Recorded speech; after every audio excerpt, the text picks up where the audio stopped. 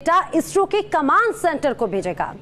सबसे पहले आपको बता दें कि जो अंतरिक्ष यान श्रीहरिकोटा के सतीश धवन स्पेस सेंटर से छोड़ा जाएगा, उसके दो हिस्से हैं। पहला launch vehicle GSLV M K three rocket और दूसरा है चंद्रयान टू हम आपको बताते हैं लॉन्चिंग के बाद में GSLV M K three rocket Chandrayaan two को लेकर आसमान का सीना चीरता हुआ कुछ इस तरह से आगे बढ़ेगा। ये जो ग्राफिक्स हम उस ग्राफिक के ज़रिए आपको समझाने की कोशिश कर रहे हैं, आपको बता दें, जो ग्राफिक्स है, इसको देखिए।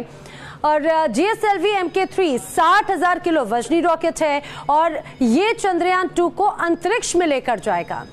अगर बात की जाए तो डेल और बीटा की लॉन्च के बाद में धरती की रक्षा की कक्षा से निकलकर चंद्रयान टू रॉकेट से अलग हो जाएगा। हम आपको वो भी दिखाते हैं कि किस तरह से ये होगा। आप देखिए, किस तरह से S two hundred Stephen rocket launcher से अलग हो जाएगा और फिर इस लॉन्चिंग के सेकेंड स्टेज के rocket L double one zero rocket में इग्निशन होगा। यही वो पूरा प्रोसेस होगा और इसके बाद में पेलोट का जो फेयरिंग लॉन्चर है, वो उससे अलग हो जाएगा। स्पेस में सफ़र के बाद तीसरे फ़ेज़ में L one one zero rocket भी इसके बाद में अलग हो जाएगा। ये पूरी प्रोसेस है जो हम आपको बता रखे हैं कि अंतरिक्ष में चंद्रयान टू की लॉन्चिंग के बाद में क्या कुछ हलचल होगी। और जब वो अलग होगा तो उसके बाद में चंद्रयान टू का जो मॉड्यूल है, वो उसको सी ट्वेंटी फाइव रॉकेट आगे लेकर जाएगा। और इसके बाद में वो अहम पड़ाव आ जाएगा जब चंद्रयान टू का मॉड्यूल इस रॉकेट से अलग होगा। और आगे जाकर जो चाँद का पैनल है, जो का पैनल है, वो खुल खुल जाएगा और फिर ये मॉड्यूल धरती की कक्षा से बाहर निकलकर चाँद के ऑर्बिट में पहुँच जाएगा और चाँद की कक्षा में वो चक्कर लगाने लगेगा। ठीक इसी तरह से यही वो प्रोसेस होगा जो हम आपको बताने की कोशिश करें बता दें, जो चाँद की कक्षा है, उसमें चक्कर लगाने के दौरान लैंडर विक्रम जो है, वो ऑर्बिटर से अलग हो जाएगा और फिर वो ऑर्बिटर और लैंडर का अलग अलग काम शुरू हो जाएगा।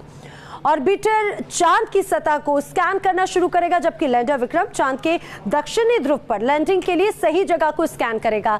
साथ ही साथ चाँद के जो साउथ पोल है, उस पर सतह पर छानबीन और लैंडर के उतरने में करीब 15 मिनट का वक्त लगेगा, और तकनीकी रूप से ये लम्हा सबसे ज़्यादा मुश्किल, या फिर ये कहा जाए कि बहुत ही ज़्यादा मुश्किल होगा, क्योंकि भारत ने पहले कभी ऐसा नहीं किया है। चलिए, अब आपको इससे जुड़ी हुई और कुछ चीज़ें बताते हैं ग्राफिक्स के ज़रिए। आप इस ग्राफिक्स को देखिए।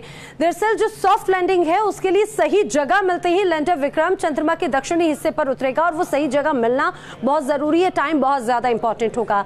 1400 किलो वजनी, साढ़े मीटर लंबे लैंडर में तीन पेलोड होंगे और अब इसका टास्क होगा चाँद पर उतरकर रोवर को डिप्लॉय करना।